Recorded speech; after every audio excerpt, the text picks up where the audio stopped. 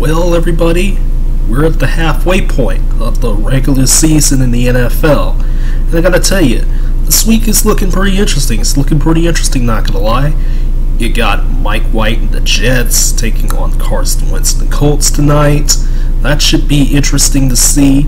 Uh, you know, I'm not gonna watch this game because I mean, Jets aren't you know, they still have, you know, a bunch of losses on the season, but for Jets and Colts fans, this could be a turning point in both these teams' seasons, in all honesty, I think.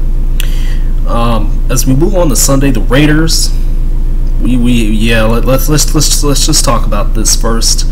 Um, as you may have known about the Raiders, um, Henry Ruggs got into a drunk driving accident, which Unfortunately, his blood alcohol levels were, you know, twice the legal limit. Uh, he was driving at 150 something miles per hour, and unfortunately, both a woman and a dog passed away. And there were additional details that were announced over the, um, the past few days. Like he had, like I don't know, I don't know why people want to point out that oh, that a loaded gun was in his car. That's really not relevant at all. Um, but he wasn't complying with the police. Uh, he really didn't seem. It, seem, it seems like there was also reports that he saw the woman in the car. The car was burning up, exploding. Basically, he saw the woman in the car and failed to do anything about it. Um, he's been released by the Raiders.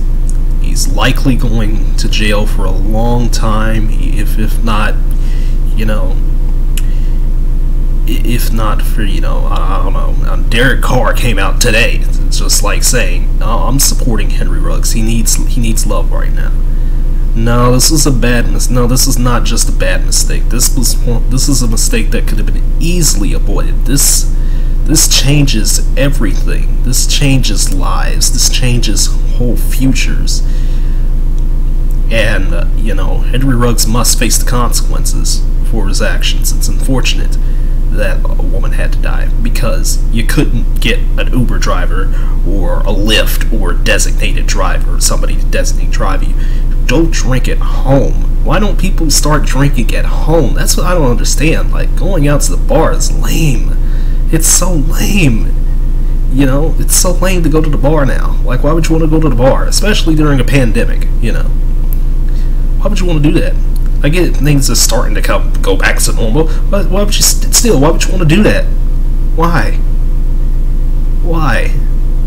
At least if you're gonna drink at a bar, you know, get somebody to drive you home. Get something to drive you home you you know we we had so many stories about drunk driving. Hell, even Henry Ruggs himself has had you know some drunk driving you know history with one of his friends. You know, you know, like it's no joke. Like it's no joke, and you know Ruggs has to suffer the consequences for his actions. Then he shall throw the book at him. Do whatever you need to do. You know, hopefully things you know you know, work out for the family involved with the woman. I forgot her name. I'm very particularly sorry about that, that I forgot her name, because, I mean, you know, I don't live in Vegas, so I don't know, you know. But the Raiders are indeed going on the road against the Giants, so, you know, I'll, I'll, I'll stop talking about this now. Raiders are going on the road against the Giants. It's the Giants. You know, it is what it is there. Watch there be a surprise, though. It's the Giants. They, they never can seem to, you know, give us a game where it's like, oh, there's no hope. Because, I mean, they, they played very well against the Chiefs last week. I mean, despite the fact that it was sloppy. Falcons Saints is another interesting one because Trevor Siemian should be starting. I'm not sure what's wrong with Taysom Hill. We know Jameis is out. So maybe we lean a lot on Alvin Kamara in this game against the Falcons. Bills taking on the Jags. I mean, Josh Allen should just take care of this Jags you know, team with ease because it's Jags, you know, and they are just not a good team. Browns Bengals is going to be interesting because, you know, both these teams suffered losses last week, and both these teams are trying to find an answer. Like, you know, Baker Mayfield and companies having problems with Odell Beckham and his dad. The Bengals are trying to figure out what in the world happened with their defense last week because, again, the Jets had 500 yards against the Bengals. They had 500. Uh, you know, so I don't, I don't know what's going on with the Bengals defense. You know, because I mean, you know, they looked there. There were times that they looked solid. I mean, the Ravens game was very solid. The Packers game very solid, but this Jets game, I don't know what that was. Was an exposure? I really don't know. So both these teams are trying to figure out how to rebound. Gonna be looking right at this game. It's gonna be really, really interesting to see how this one goes. Patriots Panthers also going to be interesting to see how this goes because both these teams are back at 500. Um, this might be like a this might be like a secondary turn on game, you know, well, you know, because I mean, obviously, I'm gonna be watching the Cowboys the Broncos, you know, you know, but the Patriots Panthers should be interesting. Speaking of the Broncos, we all know that Von Miller is gone.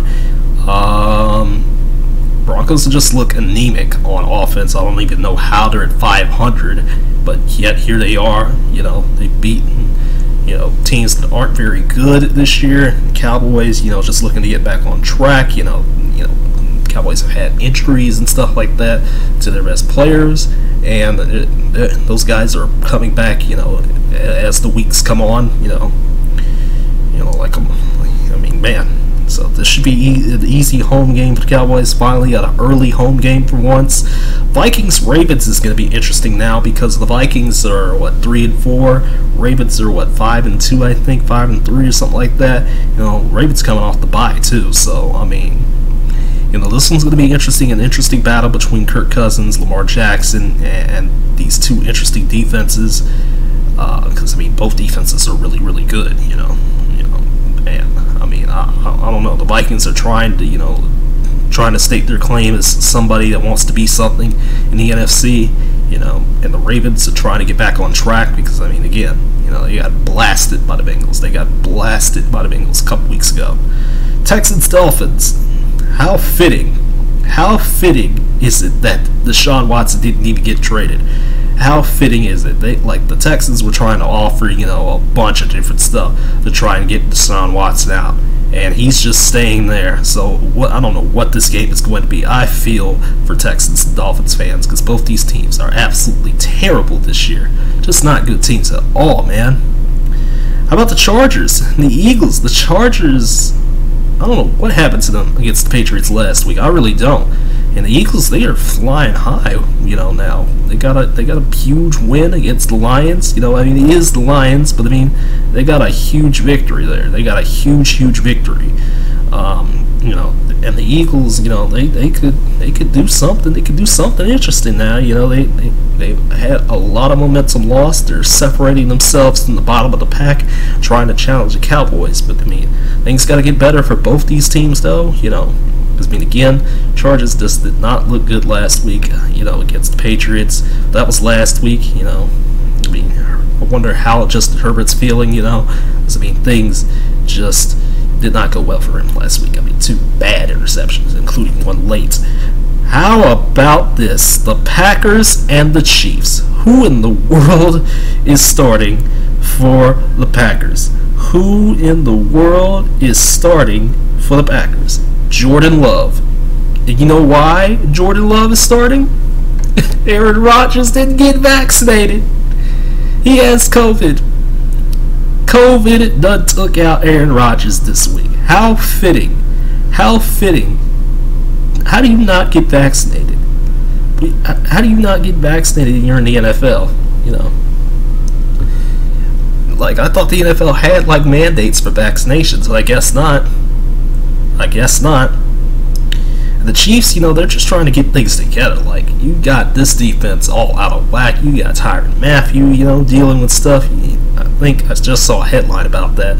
You know, you got you got Dirty Dan Sorensen, you know, just not playing good at all. You got Patrick Mahomes just throwing interceptions left and right. I mean, you got Tyreek Hill dropping balls. You got injuries all over the place, and team just not performing up to their expectations. And this one should be an interesting one. I don't know how this is, you know, what it is. You know, I don't know how this is a game of the week now. You know, but it is what it is there. Um, Cards and the 49ers. Now, this should be interesting because, I mean, 49ers, they, uh, I don't know how they beat the Bears last week. I mean, I mean, the offense for the 49ers has not looked good all season long, but yet here they are.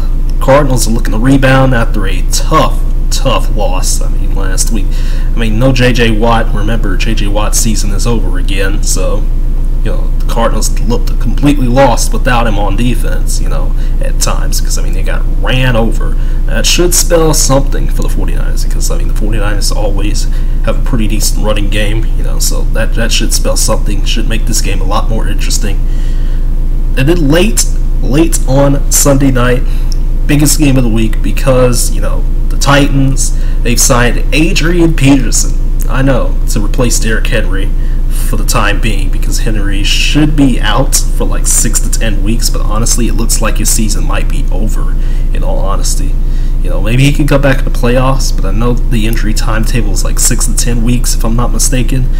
And the Rams, the Rams have signed everybody on everybody they could to make an elite defense.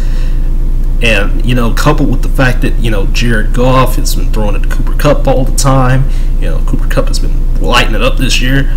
And coupled with this defense, Jalen Ramsey, Aaron Donald, and now Von Miller, you know, this this Rams defense is saying, we want the Super Bowl. Super Bowl or bust, baby. Super Bowl or bust.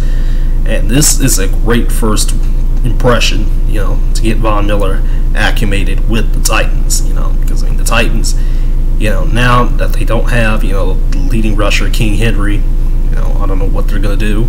You know, could they rely more on Ryan Tannehill? Because I mean, Tannehill has not looked great half the time this year. Like I'm not even gonna lie to you. Like half the Titans games I've watched this year, he's looked like trash. He's looked like he's looked like Ryan Tannehill on the Dolphins. You know, not just not that guy. Just not that guy. Then Monday night, Bears and Steelers to finish it off. Um, I don't know what to say about this game, other than the fact that it's a Monday night game. And I mean, the Bears, you know, still trying to find their footing with Justin Fields, you know, trying to get through COVID, you know, because I mean, a lot of a lot of players and coaches like Matt Nagy, you know, gotten COVID and stuff like that. Steelers, you know, they're trying to keep their momentum going after a huge victory against the Browns. You know, again, there's still many, many questions about the Steelers team, you know, right now because, I mean, things have just not looked good for them all season long. But yet, here we are, you know, with that game ending Monday night, you know, and we'll see how things go on Monday night. So, that is going to do it, everybody. That's all I got to say, in all honesty, for week number nine of the NFL season. I'm happy to say that we are at 150 subscribers, so congrats to me, congrats to all of you who subscribed and are here for these videos each and every week. And, you know, continue to support, you know, go donate to my Ko-Fi page. It, I, I, I, said the other day that somebody has donated, and again, I'm glad for that person that has donated. I've already said his name, so there's no need to say it again. Um, things are gonna get busy again for me it seems you know so soon i don't know when but you know so videos you know aren't i mean i mean i mean i made this video today so that's how that's i mean you know i usually do these like on a wednesday night so you know so that's how busy things have been so again y'all take care you know the weekend is coming so you know have a great weekend and i will see you all late, late sun into Sunday morning, late Saturday night for the college football recap. You know, take care.